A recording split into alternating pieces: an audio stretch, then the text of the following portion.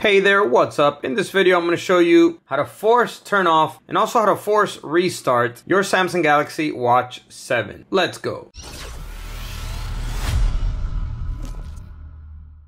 Welcome back to the video. My name is Sergio and in this channel I make life-saving tech videos. So if you're new here, make sure to subscribe, hit the bell while you're down there.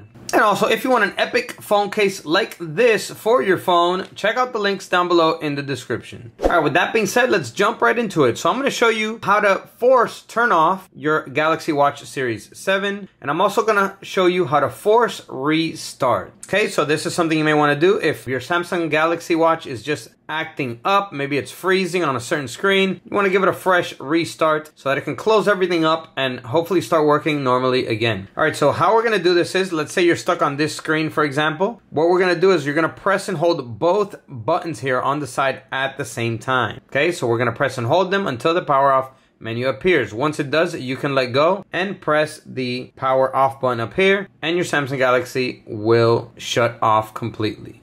All right, now I'm gonna show you how to force restart or reboot your Galaxy Watch 7. So all you have to do is same thing. You're gonna press and hold both the side buttons here, but when the power off menu appears, you're gonna continue holding them. So you're never gonna release them. Um, you're just gonna continue holding them until the screen completely blacks out. So let's go ahead and do it now. Let's press both buttons. We'll take a couple seconds. So just keep holding both buttons here.